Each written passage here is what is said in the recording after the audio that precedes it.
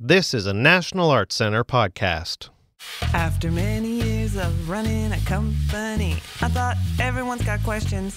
It can't just be me. Artistic leadership comes with a price, so let me give you some stage advice. We've got the literary man, he's got lots of books. He calls it as he likes it. Mr. Daniel Brooks, the first Siminovitch Prizer, got his eyes on MacIvor. All brainy artistry, this angel's necessary. I don't know, that rhyme might be a stretch. Welcome to Stage Advice. Artistic directors talk about the drama that keeps us up at night. Today we have with us the great Daniel Brooks. I think he's great. Everybody else thinks he's great too. He's collaborated with a wide range of artists as a writer, director, and performer.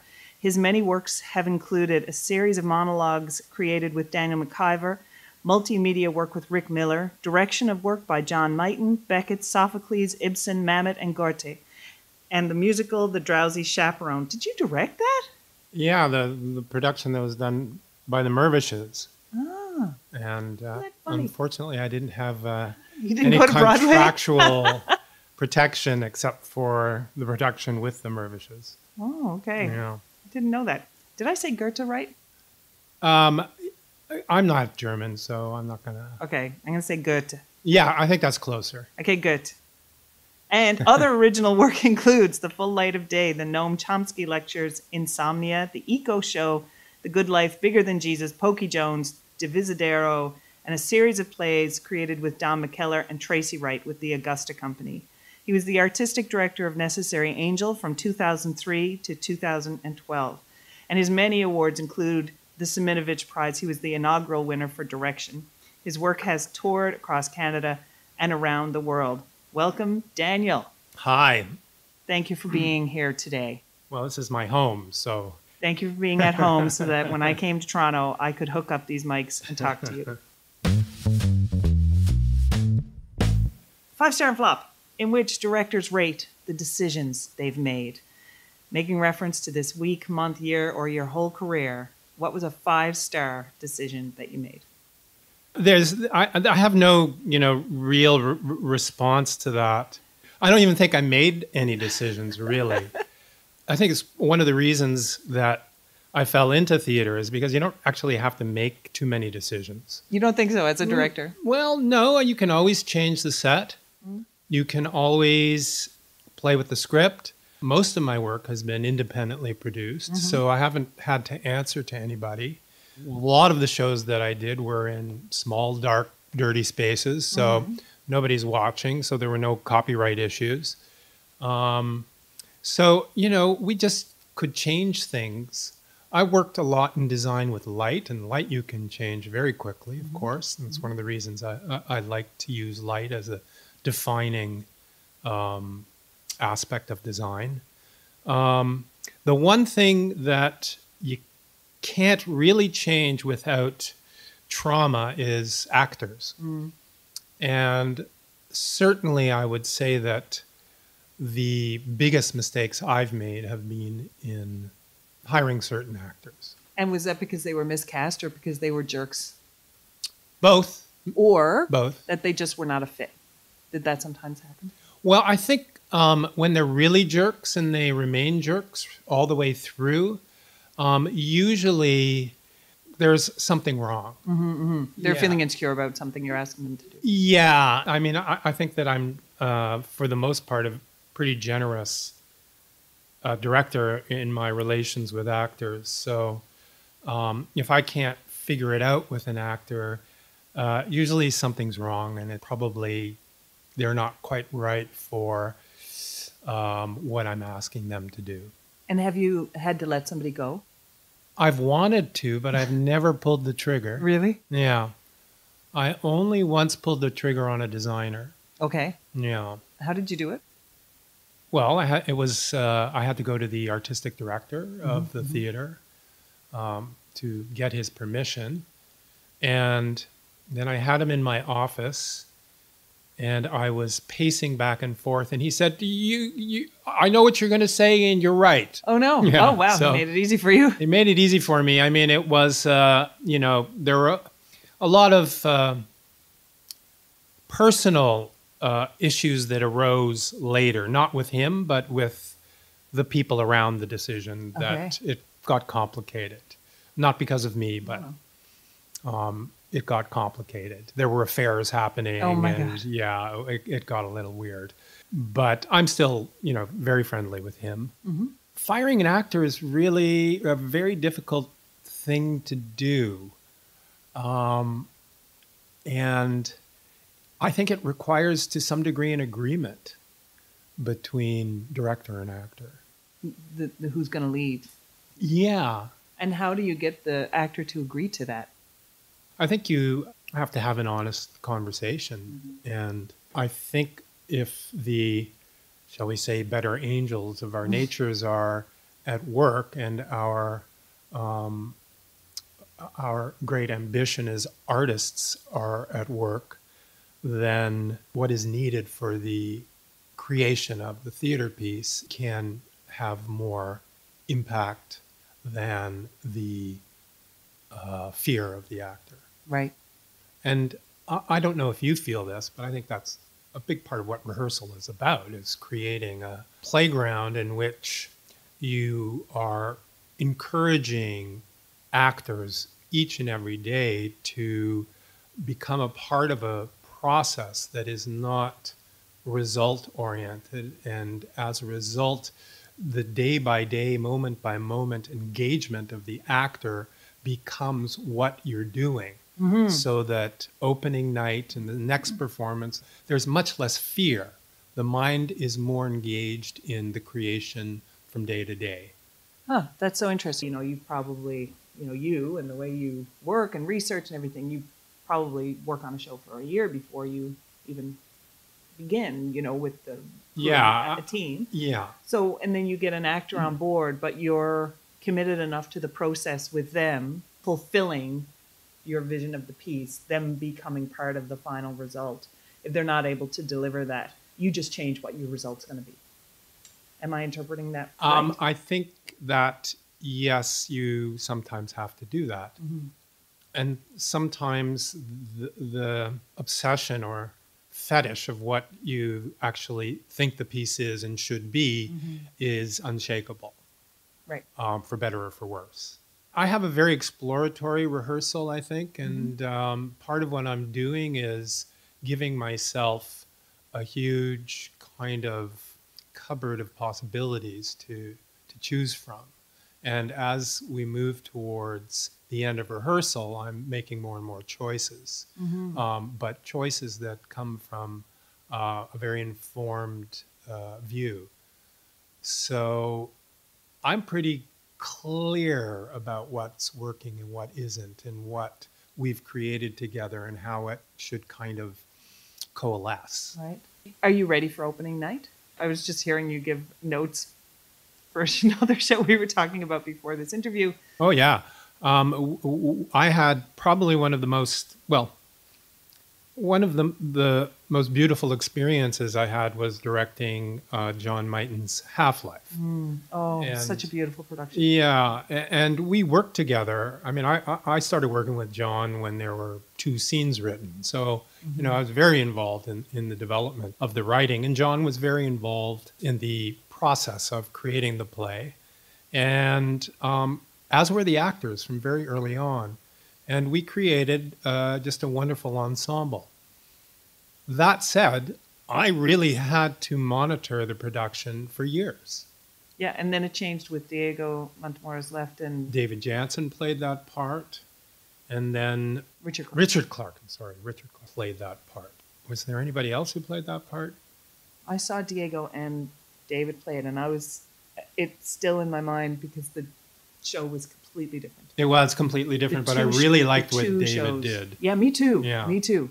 So here's where you change your result based on who your actors are. You're not going to try to get David Jansen to do Diego's performance. It doesn't make sense. No They're way. totally different actors. No, but they're both thinkers, Mm-hmm. and they're both capable of being very relaxed on stage. Mm-hmm. So that is kind of what I was needing. And I had seen uh, David perform in a show that Richard Rose directed, and I think it was a Jason Sherman play. And I was very impressed by him. I never pinned you down on a on a choice that you made. You've made some good choices. What's a really good choice I made? I'm just like, uh, let me. Th- the thing that I'm trying to think about is a choice that I've made that uh, was met with resistance, Uh huh. Um, which is a little more meaningful. Yes. You know, something that I really, really pushed for. That turned out to be great. Yeah. You know, I, all right, here's a choice doing Oedipus at Stratford. You know, th- I, I was in conversation with Antoni uh, Cimolini for years until we finally uh, found a time for me to uh, do a show there. And of the many plays that were on the table, I pushed for Oedipus, and he eventually agreed to it. And uh, I'm very happy that I did that play. Do you have a one star decision? Bad decision? Yeah, but I can't say because, uh, as I say, the, the the real decisions are casting. I mean, I think casting Yeah, is yeah. where you make real decisions. Where you make yeah, and your mistake. and I'd rather not talk about those mistakes because then I'd have to name names. Yeah, yeah. So, Fair enough. Fair enough. um, yeah, I don't want to talk. Okay. what was the best show you've ever seen, and what would you have done to make it better? So I thought a little bit about this, and what I wanted to say was that the shows we see when we're young um, and how we respond to them are entirely different than the shows we experience when we're older. How so? Well, when we're younger, we are kind of wonderfully ignorant or innocent, um, and we don't have the burden of having seen anything really. So um, we can be overwhelmed by a kind of performance uh, because it's so incredibly novel. And I think, too, because we're sensitive to the heart of the piece. And so the content doesn't matter as much. Um, at least I feel that was my experience as a younger student of theater and audience of theater. And I saw a show at the old Toronto Workshop Productions, where which is of course where Buddies is now, and it was directed by an English madman named Lindsay Kemp. And Lindsay Kemp was kind of choreographer, director. He did a lot of choreography for Ken Russell, who was an English filmmaker who did a, uh crazy movies, one about Tchaikovsky, uh, and um, and he had a company, and he did a wild adaptation of a Jean Genet novel called Flowers Okay. and he had his company was filled with i mean you know we're so we're such a conservative culture here you know we're so thrilled with the way that we're um, loosening our handle on gender. Um, but this was the 19 maybe early 80s late 70s and my god gender was flying all over the place and it was just a wild production and its physicality its audacity. He had an actor who was a i guess a drag queen. He was about six four and he was blind. So he Oh, had to wow. be got led around everywhere that he went. And it, it just it, it crossed so many boundaries in ways that I, I had no understanding of what was going on. But there was something in its audacity and spirit and theatricality and and in Lindsay Kemp himself, who was such a incredible personality and uh, a kind of impish, strange spirit on stage. So that show had a huge impact on me, and I don't know how I'd experience that today. Right. I have no no idea. I, I know that I wouldn't be overwhelmed by it. And then let's say a show that recently uh, I loved was uh, Revisor. And what I feel I have to say about that is that you know th- there's there's the question of what would you have fixed in it.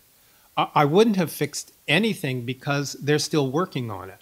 They have other dates and and my love of theater, I think, demands that theater be alive, in process, um, still under investigation. And I think that the model of producing works in bigger theaters is terribly, terribly flawed. How so? Well, opening night as a closing of work is, Yes. um, of course, actors continue to work, they have to, but the work with the director ends. And to me, that's wrong. And I think that it does affect everybody's imagination if they're working towards an opening. Um, and the idea of what that opening is um, can be, I think, deleterious to the commitment to the liveness of, of one's investigation. What do you think should happen? So we have a five hour a week window. Do you think the director should stay on and use it? Well, I think the problem is deeper. I think that the problem is always how do institutions work with artists? That's the core problem to me. Um, so if the director is hired and then the director hires actors and then hires a designer, there's this hiring thing. And I think that what is a much more productive model is that artists are working together over a long period of time, exploring ideas, exploring um, ideas that are difficult, uh, dangerous, challenging together um, from a certain place of understanding. And that's very, very hard to do with a kind of conventional form of hiring, I believe. Do you think it gives the director too much power? Power, when you're in a long artistic process, is less and less of importance. I think maybe power becomes important in situations where things have to be done quickly and arbitrary decisions have to be made. And once you're making arbitrary decisions, then power plays. Yeah. It necessarily plays into the the uh, process. And when you're more deeply engaged with artists, the questions of, of power, I think, especially if there's a genuine uh, meeting of, of intention or uh, purpose that one can explore more broadly and one can go deeper and one can risk so much more because there's a an intention. An actor who is hired is always going to be struggling with their own fear and ego in terms of how are they going to be seen by the audience. They have their careers or their their sense of how they're seen by other artists or the mm-hmm. audience. And so there's a, a lot more necessarily fear that's much harder to overcome in a short ad hoc process. So Revisor is a show that's being done with the two principal artists are working on their second show together, but they've been in conversation for a long time. Crystal Pite is working with those performers over a long period of time so that there's a exploration that's happening collectively. Right. and the risk the fear is much less. In fact the fear is that they don't um, stride into something special and new and interesting. And so the idea that there is even such a thing as the show becomes a problem. We're not doing movies. There's not a final cut. They're, they're, they have to be alive.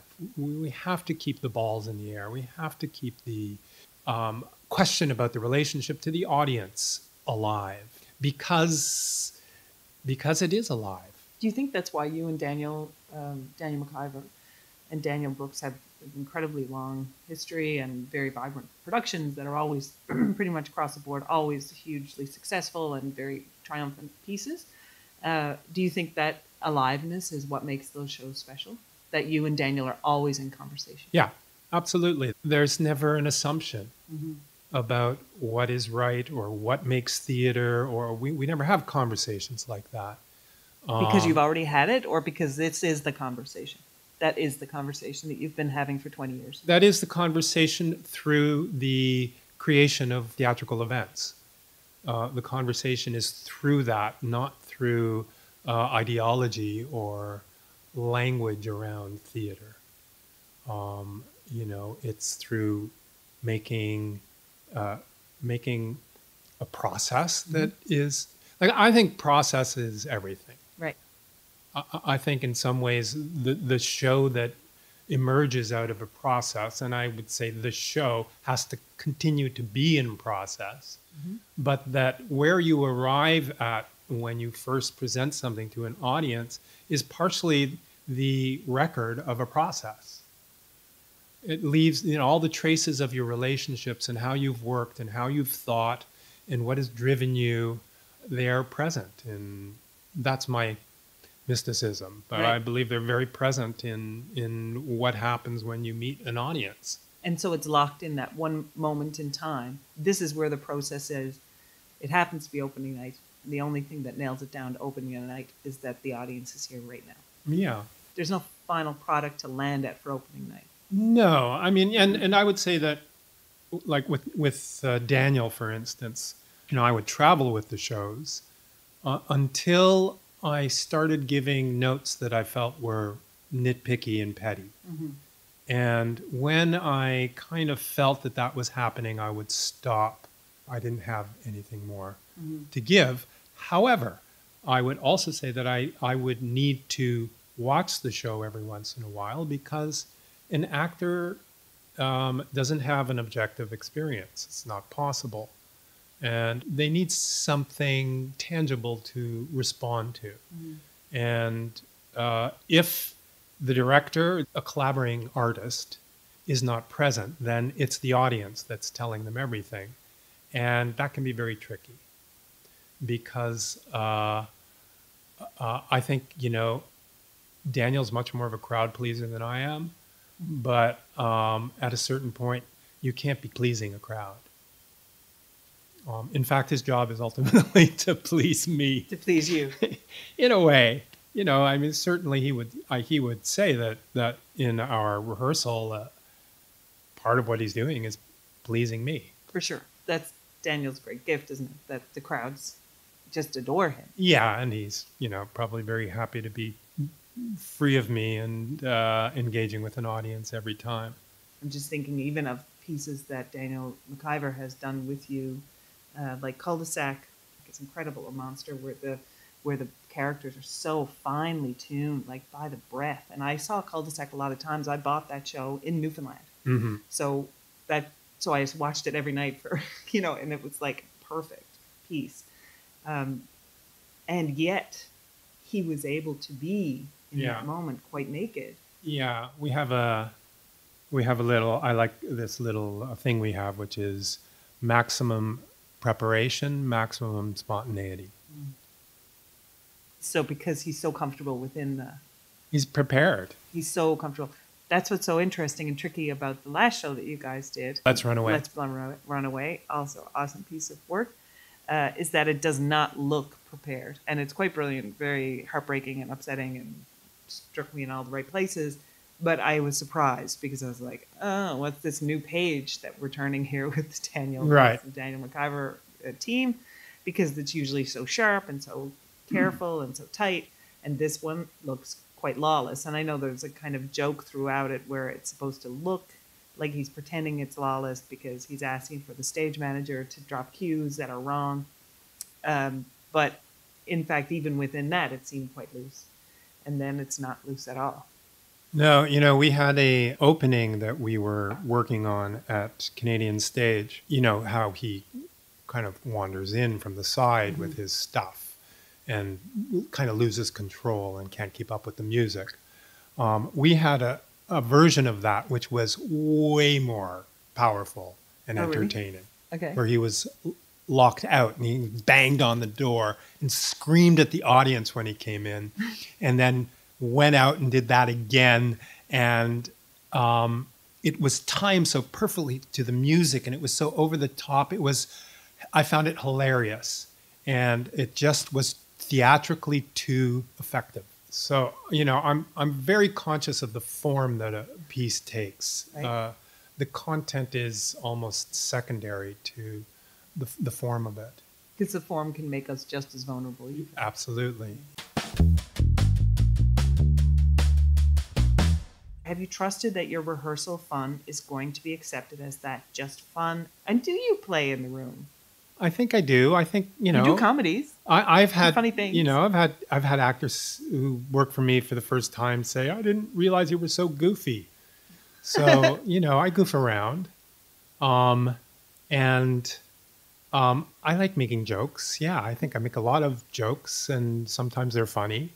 You know, Daniel has a particular sense of humor. I'm much more careful with people. You know, sometimes you lose an actor and you don't quite know why, and it might be an accumulation of attitudes or uh, talking too much or presumptions about uh, what you know and what they don't know. Uh, you may be playing into an actor's uh, deepest insecurities, and it just may be a tone of voice. I mean, you know, I've had those experiences that have been disturbing. Um, and in fact, I haven't really talked to those actors about them. So that's interesting. Um, in fact, one of them, who, again, I won't mention his name, but uh, I've kind of been thinking lately, I'd like to ask him what happened. Mm-hmm. What? Where did you go? What did I do? Something? Did And did you just finish out the production with a kind of tension between you, or it wasn't even a tension. He just had a. He kind of gave up. There was no affect on stage. There was no energy. There was no engagement, and I have no idea what happened. I had a I had a conversation that was very fruitful. I I just asked, "Oh, uh, "What's going on?" I feel like there's a lack of trust or something. I don't know what's going on, but um, I have a lot of ideas and passion for the show. And can you tell me what what's confusing you, or what you feel I'm missing, or am I asking you to do something? You know, you know. And we had a fruitful conversation, and Oh, it changed things. Yeah. after you engaged? Yeah. Yeah. Maybe she needed that. I mean, you know, they want attention, they don't want attention. You know, it's a it's a it's a tricky game. And um, it's great when you're not playing that game, when you're just working. A director prepares, in which artistic directors and directors, and you were an artistic director for a long time. hmm Did you like doing that, or was it making you crazy?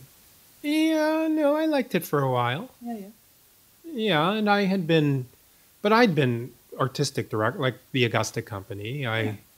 I mean, we were all artistic directors, but I did the work. And you know, I've done a lot of very close work. I was very involved in, in Buddies at a certain point. I was was very involved with Soulpepper. Uh, you know, I've worked very closely with Daniel and Da Da Kamera. So I've been either artistic directing or working very closely with artistic directors. And Necessary Angel for Yeah, for like 10 years or 10 something. 12 years. What is your life recommendation, and what is your uh, artistic director recommendation, or director recommendation? Um, I don't have advice. You have no life I, advice? I, I don't. I, I can tell you um, what was important to me that I feel uh, a certain amount of gratitude that I had that attitude.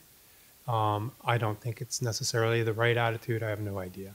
But I was never uh, interested in a career in the theater. I was interested in the ideas that that drove me. Um, I was interested in uh, the relationships that accrued over time in the work. I think that was probably the, the, the leading motive for me to get into theater was to have some other human beings to pass the time with. And I know that it's a different world today, and I know that it's, uh, you know, for instance, when when I was um, first doing shows, uh, it was easy to uh, find uh, a place to live in Toronto um, and work just a little to support yourself. I know that's no longer the case unless I guess you're living at home.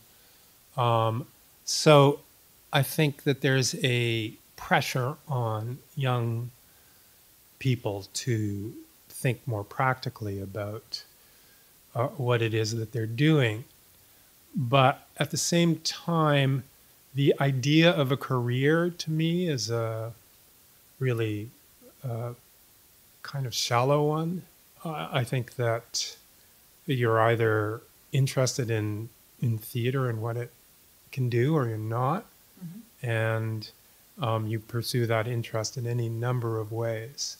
But nothing's going to add up to anything in the end. There's no real career. I've had a career in big quotation marks, but it's not because I necessarily pursued it. Um, I pursued the work. Right. So it's only a career if you stop and look back at it. Yes. Yeah. So, uh, but that's a a thing of of temperament and circumstance that existed for me many years ago. Do you categorize what you just said like you didn't have ambition to have a career, or that you know it, it's not certainly that things fell in your lap, but that people kept asking you to do work and then work begets work begets work and then you were in Daniel's relationship and your relationship with Don McKellar and the people that you worked with over the years who you have these long-term engagements with so th- then that's more work and then you're trying kind of then you have teaching opportunities and then that's more work and then next thing you know you have a career is that am Yeah. I summarizing that Yeah. Yeah. Yeah, there was no grand plan. Now, also, there was no one really to aspire to be, you know?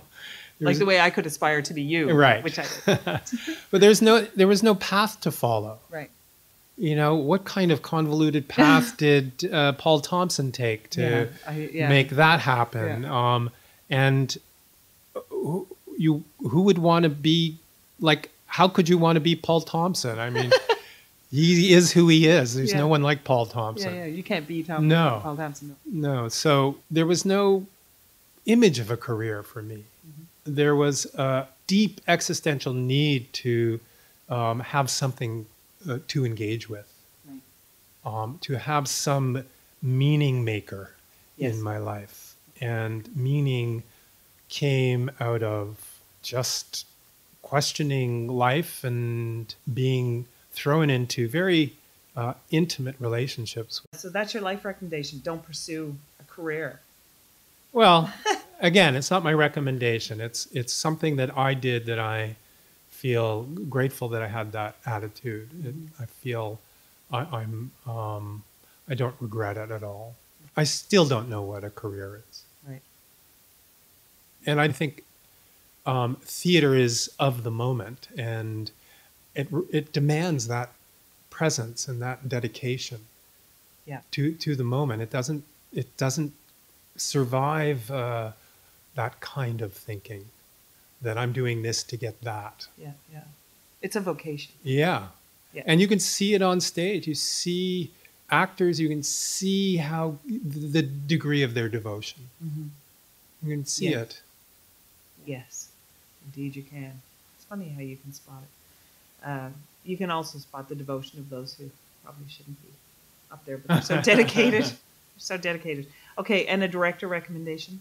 Something you always do uh, when preparing, or something you always do in your book, or something you always do when dealing with. What's your first day? Uh, yeah, if something uh, doesn't feel right, address it. Now, again, that's personal. I really trust my intuition and I really trust my feeling. And, I'm in constant conversation with my body. Okay. And so if your gut says no, then your task is to find a way to articulate it. Yeah, what's wrong? What what is it? Why am I feeling this here? And when you're responding like that, and that articulation, because I find that very difficult, that articulation of why your gut is feeling, if your body is responding poorly to a moment, do you formulate the articulation of the argument first and then express it to the actor? Or do you just say it out loud and trust that you're going to say the right thing? I think it depends on the circumstance. I think usually I go through a process on my own first. Okay. Yeah.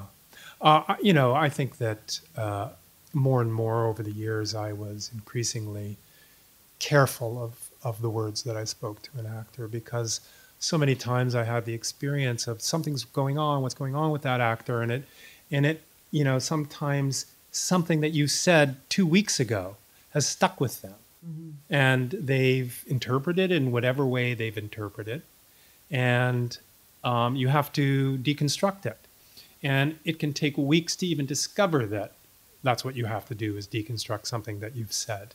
So that anything that you say to an actor um, is is open to infinite interpretations um, so i've been um, trying to speak less over the years and i think that there are times where you don't think aloud um, you have to come to something. Now, there are also times when I include actors in my query. I can think of, you know, when we were working on Lucky's long speech in Godot, there was something that I couldn't make work in a certain way. And I felt like that maybe was Beckett's point, and that there was no way that it was going to satisfy you that it was there his long speech is there partially to frustrate you mm-hmm. to confound your sense of language and confound your sense of theater as well and i needed to talk that through with the actors. I needed their their their opinion how it felt felt from the inside. Where are we going with this? But that's because i came to a kind of end in my thinking. I couldn't think any further. I was stuck in a bit of a dilemma. Again it came from i'm not getting something out of this. Mm-hmm, mm-hmm. So I really had to think through okay, am I supposed to get something? Am I looking for a feeling that is inappropriate? And in fact, my discomfort is maybe what is is being asked for from the from the text, and maybe is what I should be exploring. So I I, I really do feel that how my body is responding is really central to my directing technique. And I think that sometimes it's very hard. There, there are two uh, problems that directors have. One is the fear of making a change. Because that can lead to other changes and where is it going and how's the change going to work and i'd rather just leave it. Uh, i think that's uh, a danger. Um, i think the other danger is becoming uh, caught up in your feeling. And i noticed this teaching directing where uh, a, a director would feel confused and their confusion would overwhelm them. And that what is really important to learn is that confusion is coming from the stage. And that, yes, now it's in your body, mm-hmm. and now you have to objectify it. Why am I confused? What is happening to my body? What out there is happening that's creating this? So that's a difficult lesson, and I think there are some brilliant young directors who will never learn that lesson and never be great directors mm-hmm.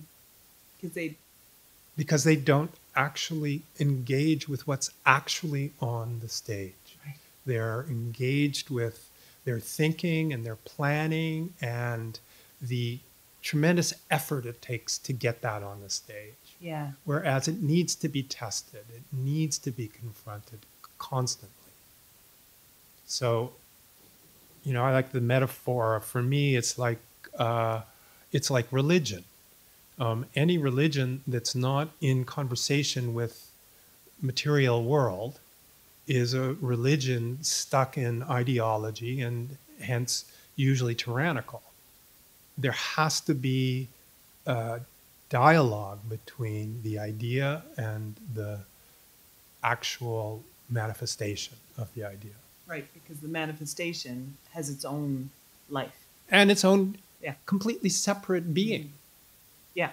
And if you're able to engage with that and then reroute your, again, you're back on process instead of finally looking for the result. Mhm. Um, if you, if your success comes in having this vision for the thing, then you see what is actually appearing on stage. You don't continue to pursue your original vision Right. with that result in mind, you go, okay, now this idea, this, this Well, your original vision is irrelevant. It's just a generator. yeah, right. It's not anything. It's just thought. You're so fucking smart. I wish that you had taught me at school. yeah, that's really good. This is good advice for me Mhm. personally. Thank you. But it is, Yeah. man.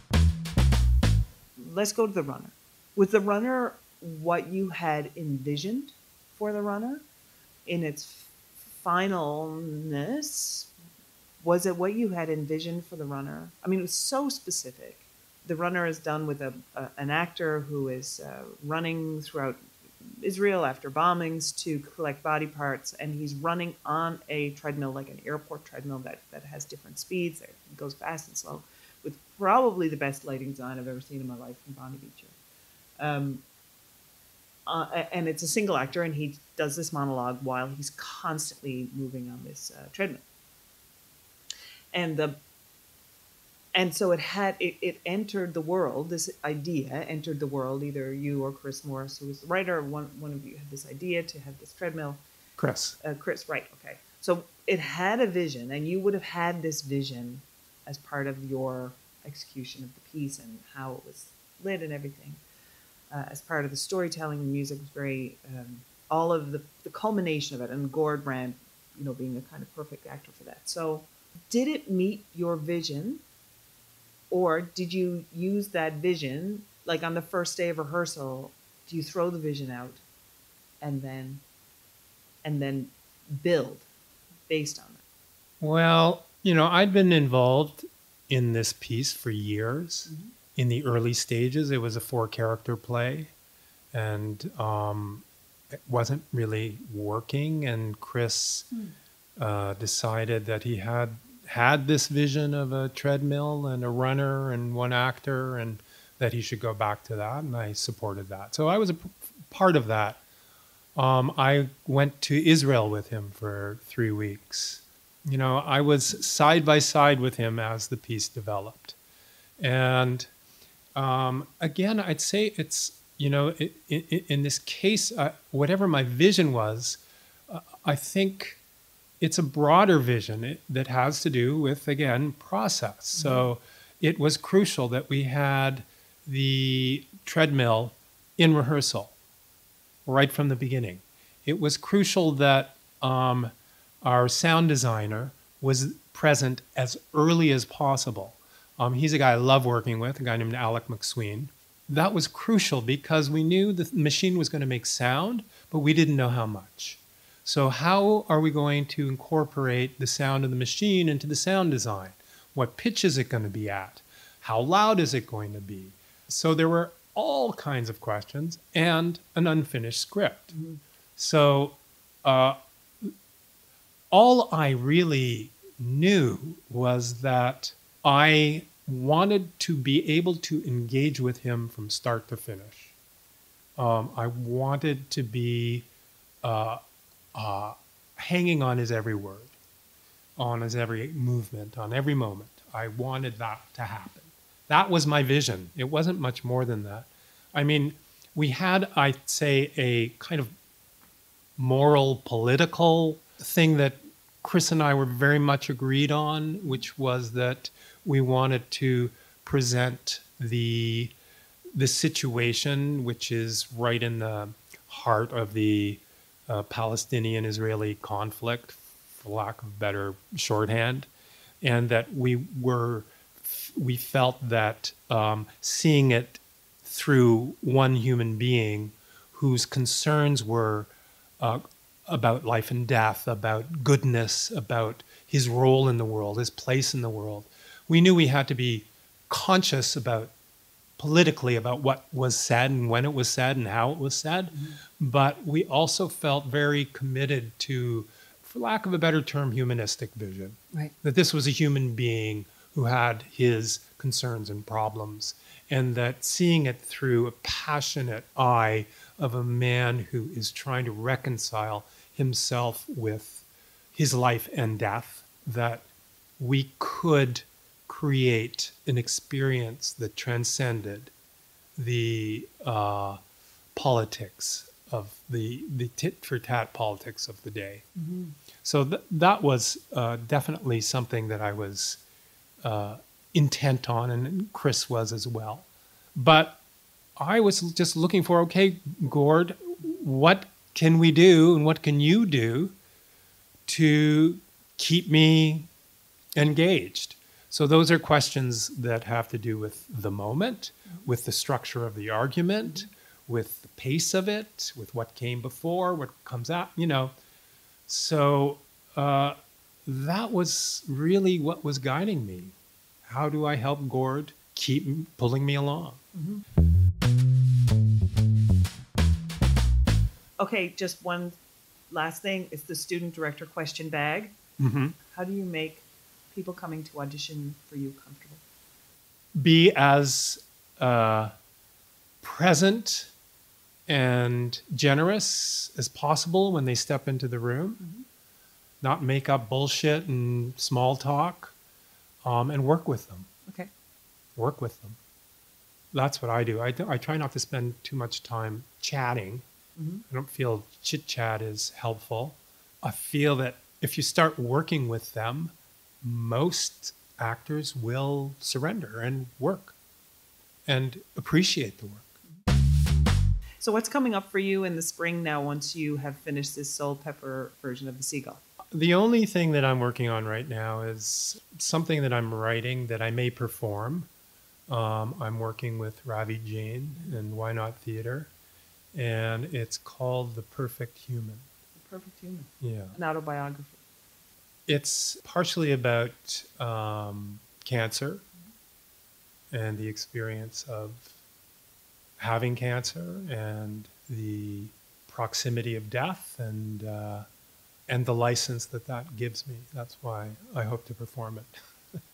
Thanks, Jill. Thanks, Daniel. That was fun. Stage Advice was originally dreamed up by Brendan McMurtry Howlett and Kate Smith. Music is by Don Ellis, produced by Marnie Richardson and Martin Jones, and recorded in the National Arts Centre's Hexagon Studio. Find us online at nacpodcast.ca. We welcome your comments, director's dilemmas, and student director questions. Please write to us at nacpodcasts at gmail.com. Finally, if you've enjoyed this podcast, please subscribe on your favorite podcast platform let us know what you think with a rating and a comment. We'll see you next time for more stage advice. What dramas are keeping you up at night?